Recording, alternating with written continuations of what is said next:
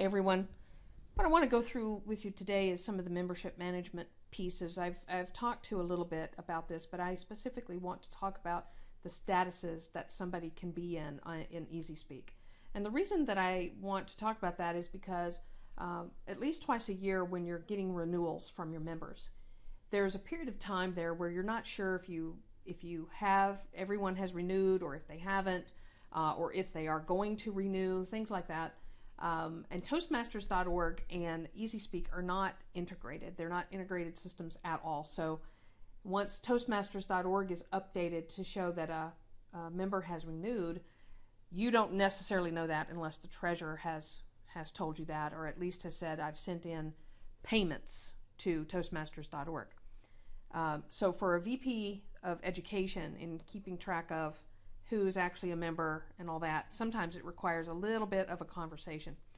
Uh, so anyway, I want to show you under the membership management over here on the left hand side, edit member. I've already done that. And I've come over here and you can, uh, for example, you can see that uh, a few of our members, uh, so I'm doing this today in November, you can see that a few of our members, it's been a while since since they've been at meetings.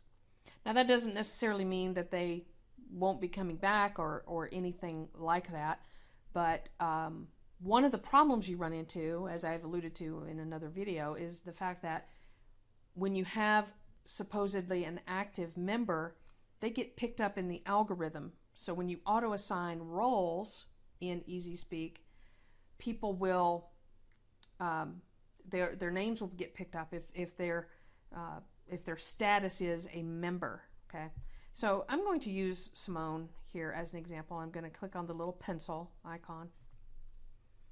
And I do not know if she'll be renewing or not. I have no idea.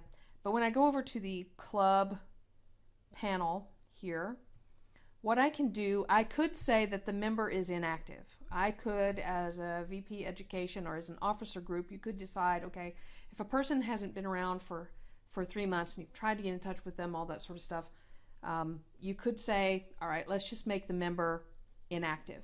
And so if I say yes, that she's inactive, then it will stop automatically allocating roles to Simone. She won't be included in that algorithm. So I'm going to go ahead and do that for her because I haven't seen her in a while. And uh, that way she doesn't get auto assigned. And so I could submit and save that. Now here eventually it's just going to pop right back to that screen. So now that I'm back at that screen, what you can see here is that Simone is still considered a member. It's just that I have turned off the ability for her to be included in that auto assign algorithm, which can be very useful because otherwise you could have somebody showing up in a role who just hasn't been coming to your meetings. Um, so I'm going to go back into Simone's, click on the little pencil icon. I'm going to go back to the club and look at some other statuses that we could have. So, for, for example, it could be a guest speaker or a special guest, and we've had a few of those over the years. Um, you could also put visitors in here. You could also put uh, something in here where you keep track of their email for a mailing list. Um, or past interests, no email to be sent. You can also place a person in an inactive member or a past member. And if you start putting people into the past member, it basically takes them off of the list. It does not, and I repeat, it does not delete the member information. So you could have a situation where you have people who have been a, a member before, maybe a year ago, two years ago, six months ago, whatever whatever the situation is, and they may come back to the group and you know, you may go out there, you may not even know that they, maybe you're a new member and you just don't know that they, they were at one time a member of the group. But those those details don't go away. So once you put in an email address, if it's the same one that they used before, you, they'll pop up and you just adopt them right back in. Um, if you know that they were a former member, you can actually pull their information back and you just change this to they've become a member again. And so then they'll show up, they can you know, get assigned to roles, all that sort of thing.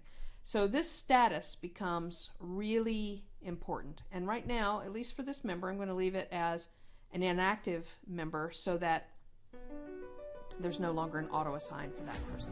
So if you have any questions, please leave them below. I am happy to help. I'm happy to help answer questions. It'll also give me an idea of the types of things that need to be in video format for this platform, and I look forward to talking to you soon. Thank you.